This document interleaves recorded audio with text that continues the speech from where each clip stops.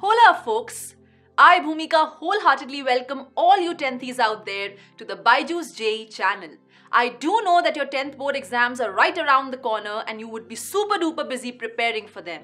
So, firstly, all the very best from my end. I hope God blesses your efforts and you pass your exams with flying colors. And secondly, it would be great if you could spare some time out and watch this video right till the end cause it's tailor made for you and trust me, it's totally worth it. So, what after 10th? Isn't this the bus question which is floating around you from all directions right now? Your peers, friends, fellow classmates, relatives, neighbors, uncles, aunties, parents, siblings, juniors, seniors all bombarding you with the same concern, with the same query. Kiddo, your 10th is almost over. What have you thought about your future? What are your plans post 10th? What do you want to become? A doctor? An engineer? A lawyer? A writer? A CA? A teacher? What do you want to be? Are you someone who doesn't have answers to these questions? Are you one among those tons and tons of students who are confused about the career choice that they should opt for once their 10th is completed? I know most of your answers will be yes. Well, do not worry, do not panic. It's absolutely okay and it's absolutely fine. Take a deep breath, open your eyes and ears, and listen. After crossing your 10th and right before you enter your 11th grade, you are asked to select exactly one of these three streams in your school science, arts, and commerce. Right? Being at this point is like being at a junction which leads to multiple paths and hence multiple opportunities. What is required of you is to make a choice. Now, you would be wondering, how do I make a choice? The answer is dig deep, go inside, introspect, and ask yourself what drives you? What is it that you enjoy doing? What do you love the most? What are you passionate about? What is that one thing which, when you do, you do not feel bored or tired? What is that one thing which doesn't seem like work to you and you can engross yourself completely in the joy of purely just doing it? Boys and girls, whatever that thing is, that is exactly your true calling. That is what you should make a career of. I love to teach, I love to learn, and that is what I'm doing right now. Similarly, you can find your own mojo, you can find your own magic. All you need to do is have this conversation with yourself and reach to an answer, reach to a decision. Because a decision today will give you a head start and will put you ahead in the game right away. And you already know a good start means half of the journey is done. Also, a good decision today will ensure that you have a successful career later. Out of the plethora of opportunities at this junction, I am here to address the possibilities specifically in the science stream, which are engineering, medical, as well as pure sciences. In here as well, we are particularly interested in exploring the possibilities which engineering has to offer us. Okay? See, engineering is the very field which is responsible for human progress right from the invention of fire and wheel to the era of AI, that is artificial intelligence, wherein robots perform surgery on actual human beings. Awesome, isn't it? Engineering is the branch of science and technology which is concerned with the design, the building, the use of engines, machines, and structures. To put it simply, engineering is all about using the available resources to solve an existing problem in order to make life easier, simpler, convenient. Okay, but which engineering related solution gives you the strongest kick?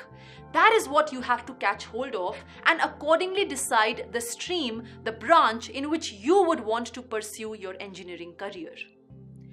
Here is a rundown of the various streams of engineering to help you decide which one could be for you. Out of all these, the ones which are sitting within the inner circle are called the core branches and they are always super duper high in demand. Alright, एक बार जब आप freeze कर लेते हैं कि आपको किस stream में, किस ब्रांच में इंजीनियरिंग करनी है तो अगला ऑब्वियस सवाल ये उठता है कि आखिर इंजीनियरिंग करनी कहाँ से है? Right some of the most popular institutes which offer engineering courses are your I I Ts that is Indian Institute of Technology N I Ts that is National Institute of Technology and triple I Ts that is Indian Institutes of Information Technology apart from these some other very famous institute include IISER, that is Indian Institutes of Science, Education and Research, NISER, that is National Institutes of Science, Education and Research, IIST, that is Indian Institutes of Space Science and Technology, IISc, that is Indian Institutes of Science, and ISI, that is Indian Statistical Institute. Among all these, the ones which are the most reputed and the most prestigious are your IITs. किसी भी बच्चे से पूछ लो यार। He और she will find I I T to be the most lucrative option some of the renowned personalities which are pass out of I I Ts include Chetan Bhagat we all know him he is a very famous Indian author and columnist we also have Sundar Pichai CEO of Alphabet the parent company of Google both of them are alumnis of I I T one from Delhi one from Kharagpur We also have Anjali Joshi, who is a former vice president of Google. She's an alumni of IIT Kanpur. And we also have Jitendra Kumar, who is none other than Jitu Bhaiya from Kota Factory. Hum sabne dekha hai and we all love him. He is an alumni of IIT Kharagpur. Okay. Now, the good news is we don't have one, but in fact, we have 23 IITs located all across India.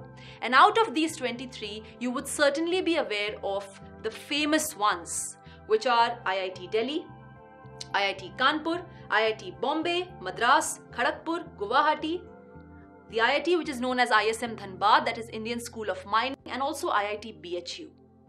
Apart from these, we also have some recently newly built IITs, which include IIT Ropar, Mandi, Jodhpur, Gandhinagar, Indore, Patna, Hyderabad, and many more.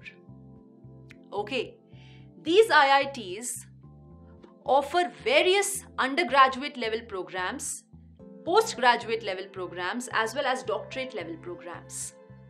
Typically, IITs are known for their BTech degree program, MTech degree program, as well as the dual degree program that is your BTech plus MTech. Okay? Now, I'm sure you would be wondering what are the benefits of studying in an IIT? Well, let me acquaint you with them. Number one, great faculty. Yes. You get highly knowledgeable and excellent teachers at IITs. यार, ये teachers सिर्फ़ आपको theory नहीं पढ़ाएँगे but in fact real life में practically engineering को apply करना सिखाएँगे जैसे फॉर एग्ज़ाम्पल अगर मैं आईआईटी कानपुर की बात करती हूँ तो वहाँ पे in there aerospace department they have airstrip they have actual aeroplanes जो वहाँ के खुद स्टूडेंट्स ने ही डिज़ाइन किए हैं कैन यू बिलीव दैट और ऐसा इसीलिए पॉसिबल है क्योंकि IITs are damn rich in resources. Yes, they have highly advanced, highly upgraded, highly updated equipments. They have world class facilities, modern infrastructure, which enables any student to grow holistically. Next, we have this. Well आप सबको पता है कि I I Ts have very strong alum base इनका alumni network superbly strong रहता है, जिसके कारण your chances of landing in a job in one of the best companies automatically increase यार, समझो कि जब आप आईआईटी में पढ़ रहे होते हो तो you are among the best brains of the country आप क्रीम क्राउड में बिलोंग करते हो. So there is no more any need of you to run behind the companies to hire you rather company start chasing you All right. Next, well, you become exceptionally great team player. IITs में यार there are countless number of extracurricular activities as well as projects which ensure all around development of the student. और आपके communication skills, interpersonal skills, soft skills top notch level पे पहुंच जाते हैं see the fantabulous world of engineering is out there for your taking But in order to explore this world, in order to unlock this treasure, there is the first roadblock for which you need the key. And the key is J E E. Yes, I'm sure you would be wondering uh, what is this J E E? Well, let me enlighten you. JEE stands for the Joint Entrance Examination. This exam has two parts attached to it You have a JEE main exam and you have a JEE advanced exam.